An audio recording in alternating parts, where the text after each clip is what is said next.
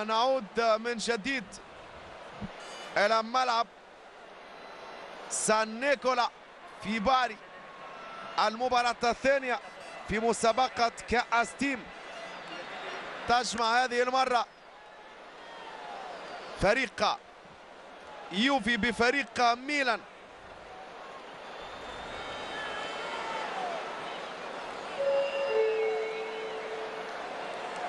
وبعد قليل. ضربة البداية للمباراة. الكرة لمصلحة لوكا أنتونيني. طويل الكرة المتابعة. كرة ثابتة وضربة مخالفة لمصلحة يوفي أندريا بيرلو. التسديد. دقيقة. هذه كرة والتدخل توزو. كاسانو. يدخل المنطقة التوزيع. هناك دفع. والابعاد من باسكواتا التسديد. قوية الكرة من مارك إلى أنطونيو كاسانو. كاسانو إلى كيفن برانس التسديد.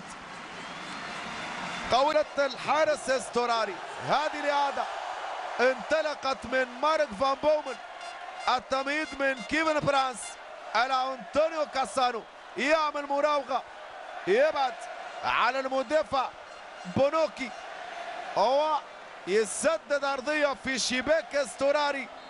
ويمضي أول هدف لفريق ميلان. غلطة كاسانو. التمهيد لكيفن برانس يسدد. أوه! كاسانو. هو قبله الدفاع يحولها إلى ضربة ركنية. الضغط لفريق ميلان. بعد مرور ربع ساعة. التسديد من بابوم تونيني التوزيع من تايو إلى كيفن برانس. التمهيد. هو تبعد في الأخير. يحاول فريق يوفي. التسديد. تسديدة كانت هذه الإعادة.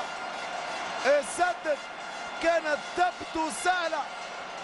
مشيلها الحارس فلافيو روما أو فيدال. هو من يعدل النتيجة لمصلحة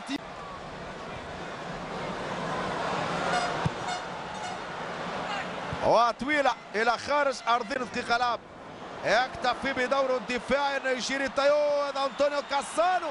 كاسانو! يسدد! أنطونيو كاسانو. مجهود كبير. هذه الإعادة. واحدة اثنين مع كيفن برانس. ينطلق. يبعد على بياتسينزا.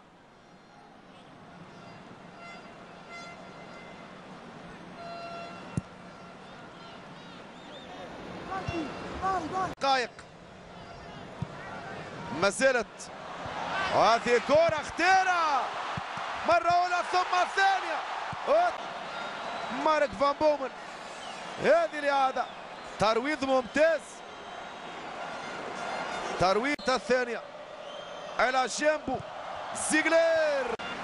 والكرة فوق مرمى الحارس فلافيو روما.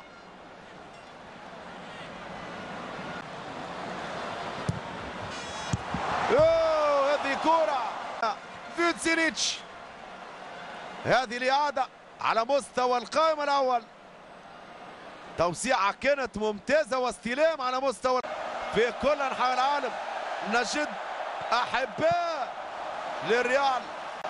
بعد تسديدة كانت أخيرة كرة لفوتشينيتش المرور إلى ركلة الترجيح هذه الإعادة. التوزيع من فيدال أو ماتري براسية يغلط حارس ميلان. يغلط حارس ميلان. فلافيو روما. ويمضي الهدف الثاني.